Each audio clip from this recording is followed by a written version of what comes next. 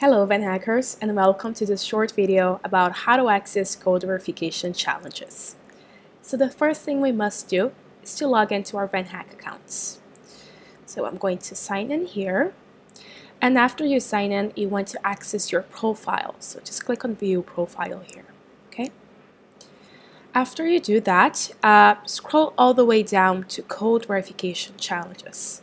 So here you're going to see a small description of uh, what it means to do a code verification, right? So once you complete one or more code verification challenges, you become a code verified VanHacker, which means that you're going to get a preferred status in all VanHack selection processes connected to the skills of your completed challenges.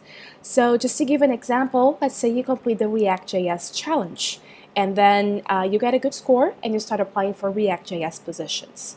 This means that for these positions, you are going to get a preferred status. So this is going to increase your chances of getting an interview with a VanHack partner.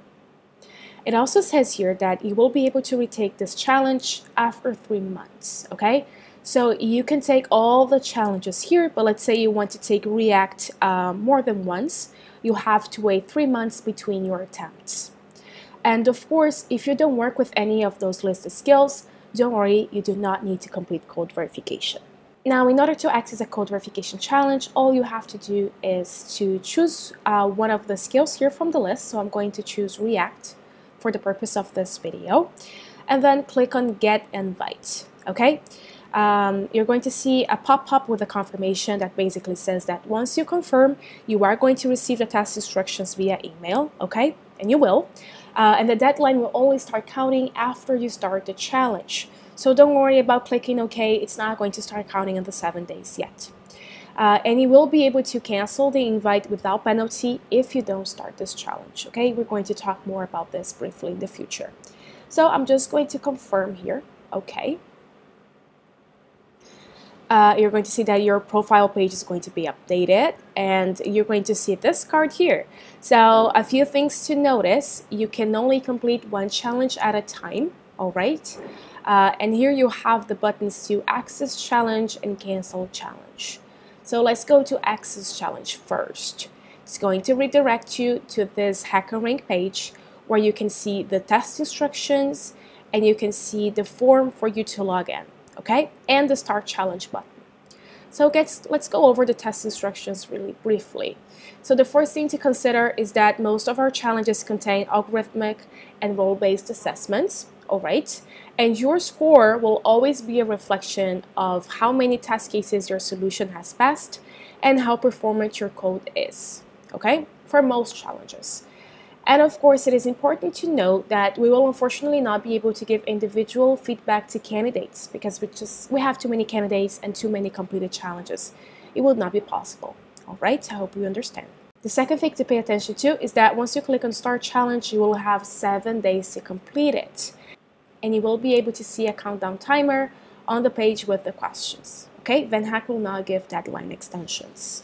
Also, your code may be submitted to companies so they can review it and it will be available in your profile so employers can see it. So uh, do your best, all right?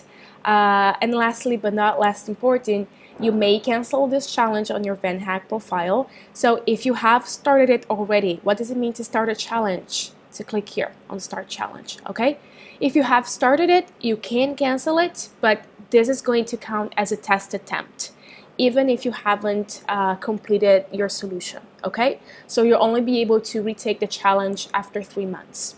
If you haven't started the challenge, so if you haven't gone past this page here, uh, don't worry, you can cancel your challenge without penalty, meaning that after you cancel, you'll be able to generate um, a new invite immediately, okay?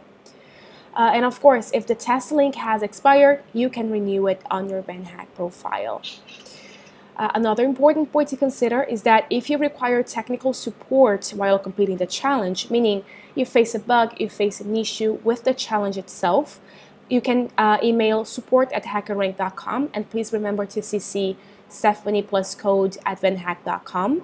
But if you just have a general question that is not technical related, you can feel free to email Stephanie plus code at vanhack.com. Okay, just remembering that we're not going to give deadline extensions and will not give feedback on results. All right. So if I want to, to start my challenge, all I have to do here is to select my work experience, uh, is to input my city and my contact number. Okay, go here and I just start the challenge. All right. It's going to take a while for it to prepare the test environment, but then you'll be able to see the two questions and the countdown timer at the top of the screen. Okay. Let's say that I want to cancel this challenge. Well, all you have to do is click here, cancel challenge, and you're also going to see uh, a warning. So as I said before, if you cancel a challenge that you have started, you will only be able to retake it in three months, okay? Uh, but if you have not started the challenge yet, you'll be able to retake it whenever you wish. So I'm just going to remove this challenge here from my profile, okay? Uh, and then you're going to see that you'll be able to select any other challenge and click on get invite and it's basically the same procedure all right after you finish the challenge your score will appear at the bottom of the screen here. It will be a new section on your profile all right? Um, it's most of the time uh, it's updated immediately. Sometimes it may take up to a day for your score to appear but it will be there okay?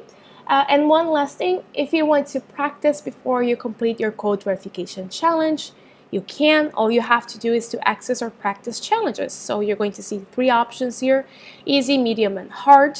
Uh, this does not mean we have only three challenges, okay? Because each of those encompass uh, dozens of questions and every time you generate, for example, uh, an invite for a, an easy practice challenge, you're going to see a different question to work on okay? These you may take how many times you wish, whenever you wish. It's just for practice and the score will also appear on your profile, all right? So that's it. I hope this video has been very useful to you and I wish you good luck on your code verification.